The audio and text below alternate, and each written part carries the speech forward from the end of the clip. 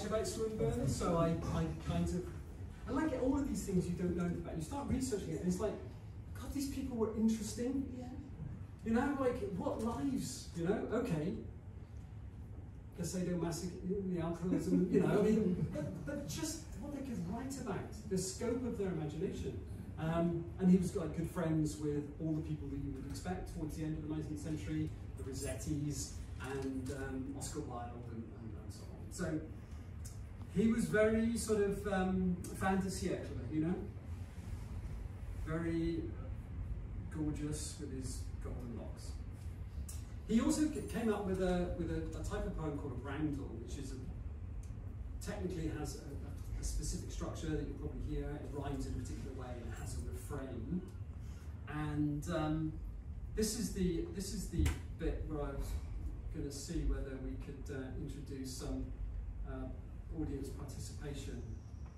And so everyone's like, oh God, it's all right up to that point. I can even count with another poem about a dead Republican, you know, but not audience participation. But um, okay, well, I'll leave it there. Um, anyway, it's called Get, Getting a Roundel in for Mr. Swinburne. Yeah, you're in the chair, Mike. Well, what I, what I really liked really like about this is like he died in seventy two. He he was rescued by his friend from certain death, alcoholism, the sadomasochism, the drugs, you know, the general sort of dissipation. Um, Wikipedia says that he was rescued from his youthful rebellion by his friend who saved his life. He was rescued from his youthful rebellion, age 42.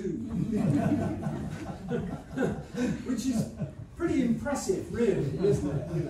And anyway, he lived the, the last 30 years of his life in respectability, and he was buried on the Isle of Wight in St. Boniface Church, and you know, and became a pillar of society. But before that, he was he was not actually.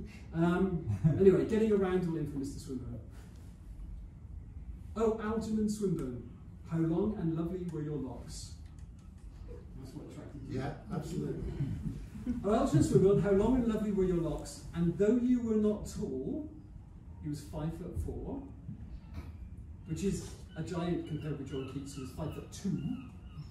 Um, so although you were not tall or beautiful, you still could turn a head or two in Grosvenor Square or walking near the docks. Oh, Algernon Swinburne. How we delighted in your naughtiness. Your pre-modern poke at our pretended sensibilities. Oh, what shocks! The bottle and the birch. Wicked ways topped off with Auburn jauntiness. Alas, who was it killed the heterodox in you? A priest of Proserpine, the pale Galilean? But oh, how wild you were before the tyranny of clocks. Oh, Algernon Swinburne. Very